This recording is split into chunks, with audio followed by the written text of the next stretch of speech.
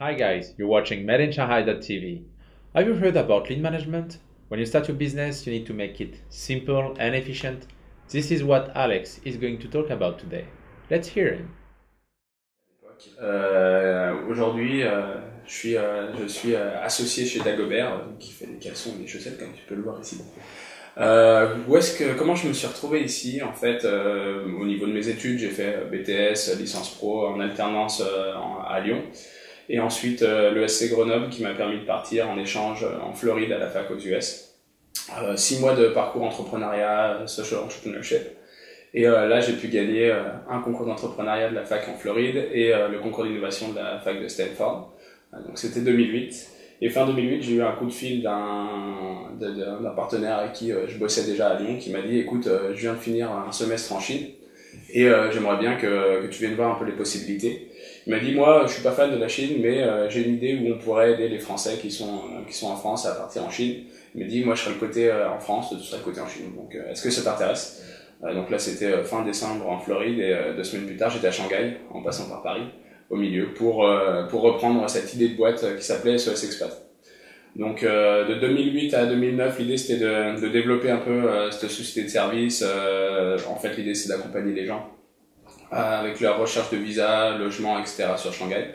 Ça s'est assez bien passé, mais finalement on s'est aperçu que c'était pas très très profitable non plus. C'était un petit business sympa, mais l'idée c'est que de monter sa boîte, c'est quand même de faire de l'argent. Donc on est passé sur une boîte de recrutement. Donc l'idée là, c'était de- d'aider à placer des jeunes profils euh, étrangers et aussi chinois dans les entreprises de Shanghai. Ça s'est assez bien passé euh, et moi, euh, en fait, euh, au bout de deux ans, j'étais assez content de ce que j'avais fait. J'ai voulu euh, changer de changer d'air. J'ai rencontré Adrien, mon associé sur Dagobert.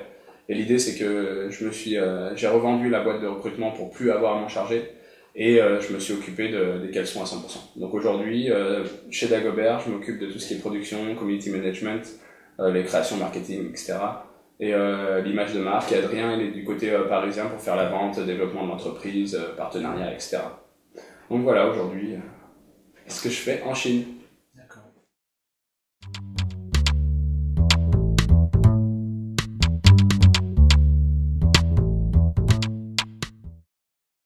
Mais l'idée, c'est de, de passer à l'action. Alors, pourquoi passer à l'action? En fait, ça permet de directement valider si c'est une bonne idée ou pas. Euh, et euh, là, il y a, y a plusieurs méthodes, mais celle que j'ai adoptée, moi, ça s'appelle le Lean Startup. C'est un, mou- un mouvement qui est, assez en, qui est en gros développement en ce moment et euh, qui vient du toyotisme, entre autres, euh, du Lean Management et de différents endroits, et du milieu de la programmation, mais encore qui est en fait applicable à toute euh, création d'entreprise. Donc l'idée, c'est de, au lieu de développer tout un produit pendant très longtemps avec un, business plan à rallonge et d'aller dans le détail dans tout, c'est de faire des petites itérations, donc de sortir quelque chose, de l'essayer auprès du, public, des clients, de, faire des études avec, et directement en prenant en compte l'avis du marché et euh, des clients qu'on qu'on target, qu'on vise, c'est d'adapter ce qu'on fait. Donc euh, comment ça marche? En gros, euh, en gros, je pense que l'idée c'est de, de, L'idée, c'est de, de faire un cadre minimum. Par exemple, la première erreur que j'ai faite en Chine, je pense, au bout, très rapidement, c'est que j'ai voulu créer ma propre structure. Je me suis dit, voilà, je suis entrepreneur, euh, je veux ma boîte, c'est important. Et en fait, euh, créer sa propre structure, et spécialement en Chine, ça prend beaucoup de ressources, beaucoup de temps, c'est très administratif. Et en fait, j'aurais pu très bien euh, trouver une entreprise qui, qui me porte au début, qui m'accompagne, pour me débarrasser de ce côté administratif. Parce qu'en fait, on passe son temps à faire la compta, etc. Et en fait, on a très envie d'avoir sa structure, mais il y a des autres solutions qui permettent d'être flexible et de ne pas avoir créé toute une entreprise pour finalement euh, se rendre compte que euh, c'est peut-être pas forcément une bonne idée, euh, cette, idée de business. Donc, euh, première chose à faire, voir si vraiment le la structure légale est nécessaire, si est-ce qu'il faut vraiment sa propre structure, ou est-ce qu'on peut trouver un partenaire qui nous accompagne au moins dans les six premiers mois, pour pas avoir à s'embêter avec tout ça. Ça, c'est la première chose. Ensuite, la deuxième chose, c'est de limiter à, à complètement euh, toute création euh, de produits, de choses qu'on va faire. Par exemple, nous, euh, je pense qu'au début, on a voulu faire euh, 8 modèles de caleçons, 8 modèles de chaussettes, euh, 10 000 combinaisons possibles, parce qu'on était sûr en fait que les gens euh, ont besoin d'avoir euh, beaucoup de, choix. Et en fait, finalement, est-ce que c'est vraiment la réalité? Est-ce que c'est vraiment ça? Pas forcément. Parce que les gens, ils veulent un beau produit, euh, les consommateurs veulent un bon produit, un truc sympa, qui leur plaît. et ils veulent pas forcément 42 choix différents. Donc l'idée c'est qu'on peut commencer petit avec un ou deux produits, une ou deux couleurs et voir comment ça se passe. Ça nous permet plusieurs choses, ça permet de valider directement si le produit juste en deux couleurs ne marche pas, faut peut-être se poser des questions. Qu'est-ce qu'on doit changer, etc. Et au moins on n'aura pas lancé une production de, de 10 000 unités dans, dans 40 couleurs différentes pour s'apercevoir ensuite que, que les gens n'aiment pas cette couleur ou euh, ne sont pas très contents à, à propos de ça. Mhm. Euh, donc l'idée là, c'est d'aller étape par étape.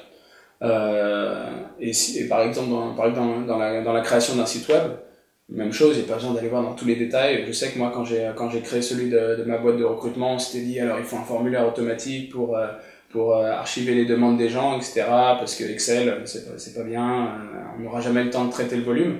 Et en fait, on place les, pro les problèmes dans, la mauvaise, euh, dans les mauvaises priorités, je pense. Euh, souvent, on se dit, OK, comment je vais faire dans 6 mois quand il y aura 50 000 personnes qui vont, qui vont m'appeler? Alors, il me faut une plateforme téléphonique, etc. En fait, euh, le problème, il est différent. Il faut commencer à s'occuper des 50 appels aujourd'hui. Et le jour où ça deviendra vraiment 50 000 appels, ce sera plus vraiment un problème puisque ça veut dire qu'on aura, le, on aura validé notre idée de business et là, on, on pourra mettre en place cette bonne solution. Donc, pas trop anticiper parce que finalement, euh, l'inconnu est tellement large qu'on anticipe beaucoup pour des choses dont on n'est pas sûr. Donc euh, là, pour mon site internet, j'avais passé euh, trois mois à développer un système qui puisse analyser les demandes clients, les trier, etc.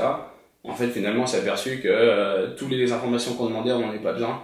On a changé le formulaire et, trois mois de boulot pour rien.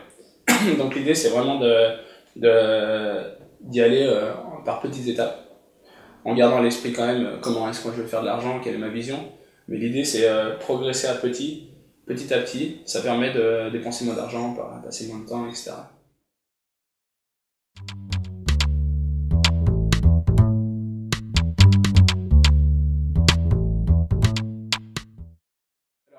souvent, souvent on me pose la question, euh, t'as pas peur, euh, genre tu promets quelque chose aux gens et puis tu t'aperçois que ça marche pas, donc euh, quelques personnes qui veulent valider ton concept, tu leur dis bah finalement non et ça les déçoit.